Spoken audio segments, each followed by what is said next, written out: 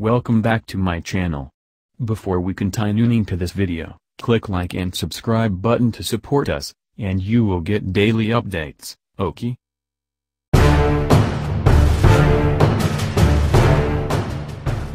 Utilizing information gathered by Good Car Bad Car from March 2016. This is the 5 autos nobody need to purchase any longer.